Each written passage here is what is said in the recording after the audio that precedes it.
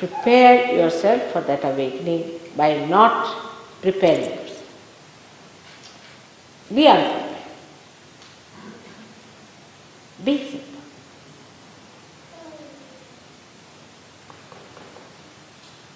Just be simple. Be childlike. Just that. Which is such a difficult thing to be simple. No elaborations are needed. Nothing is needed.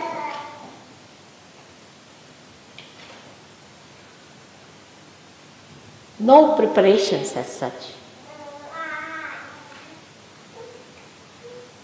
Except open your heart. Now, how will you open like that? Pay attention to your heart.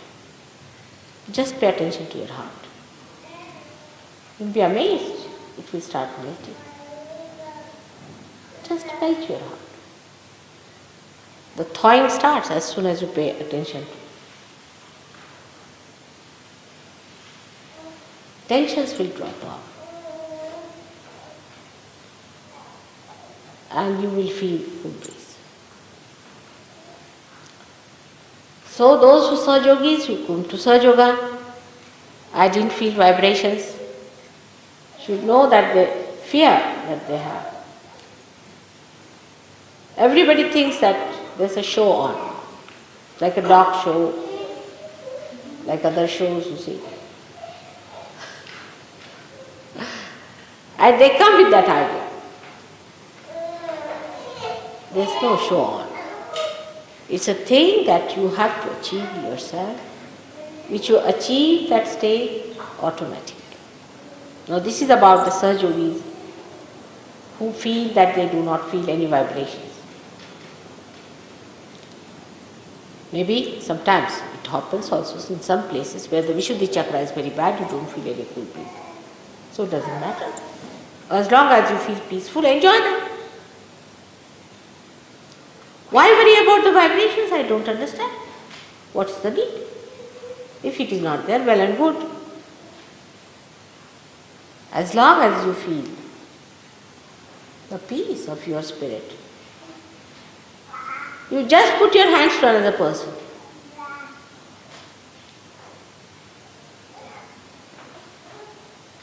Especially if you have been to some other gurus and some other meditation centers and all that, where you have been jumping morning till evening, you see. You don't want to believe that Sahaja Yoga you get only by sitting quietly.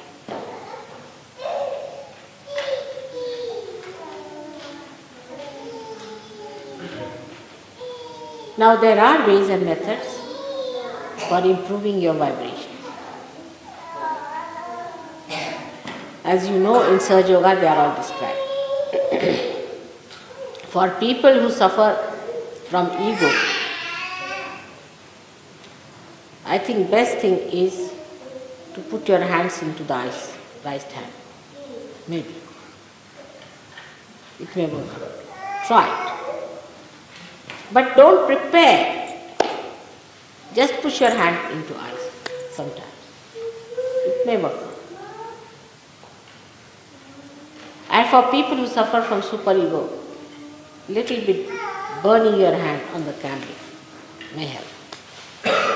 Just try. Because the hands are not sensitive.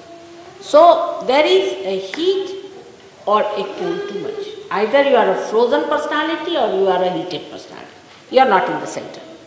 So if you are a frozen personality, better melt it a little bit. Try. I never said this before because half of you would have run away if I had said this. But don't burn it to have blisters, I am saying. Just a little bit try to see that if you burn your finger. The sensitivity will improve. But someone is thinking just now that if you have both the problems, what do you do?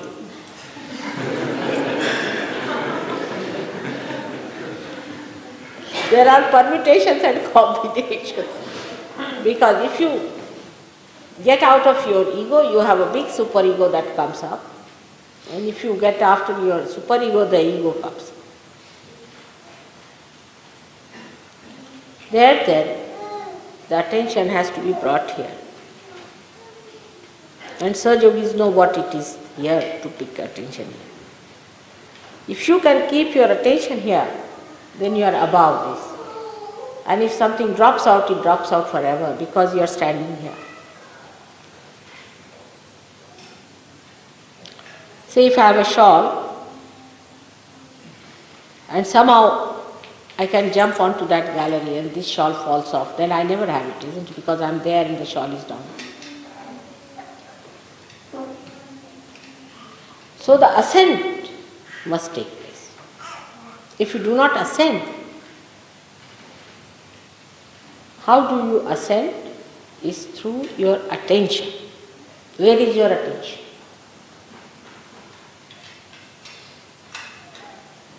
Ask yourself, where is my attention?